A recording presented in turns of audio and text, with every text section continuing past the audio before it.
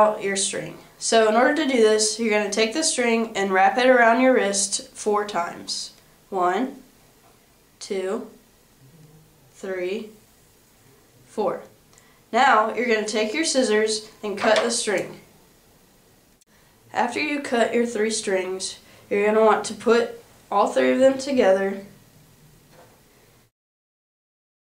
Now in order to make the knot, you take it and make a loop around your finger and pull the string through the loop. And you want to leave about two inches at the top for you to tie the bracelet on at the end. And make sure you pull it tight. Now you want to grab your tape and you're going to take the string and lay it on the table and tape it to the table at the top. Pick whichever color you want to use. So I'm going to choose the blue one.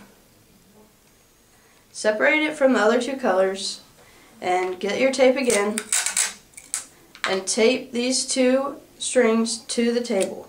Make sure it's tight. So create your four and bring the blue string under the black and white string and pull it through the loop. Now you're going to pull the knot straight up and make sure it's tight.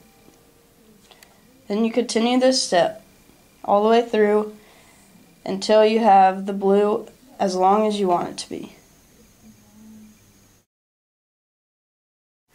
Okay, now you're going to notice that the string is all the way on the right side. So in order to continue the spiral, you're going to take this blue string and bring it underneath the black and white string and pull it to the left. After you do this, you're going to just continue making your forward knots. And you'll see that the spiral is beginning to form with the color blue. After you have the color down as far as you want it, you could switch colors. So you're going to take the tape off of the table. And now I'm going to choose the black. So you want to tape the white and the blue back down to the table. Make sure it's tight. Now you continue making the forward knot, but you're using the black this time.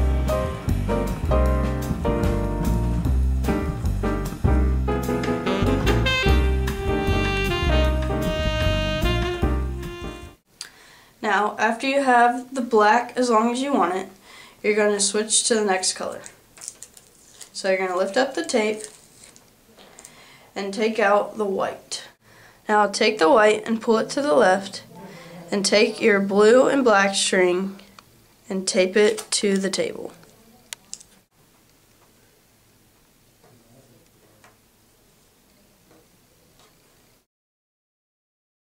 Now you're going to take the bracelet off of the table. So take the tape off from the top and the bottom.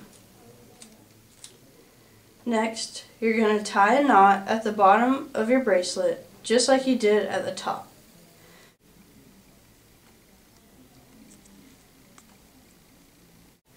Now that your bracelet is complete, you can tie it on your friend's wrist.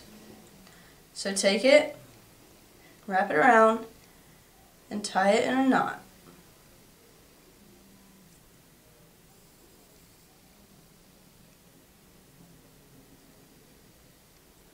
After you do this, you're going to take your scissors and cut off the excess string.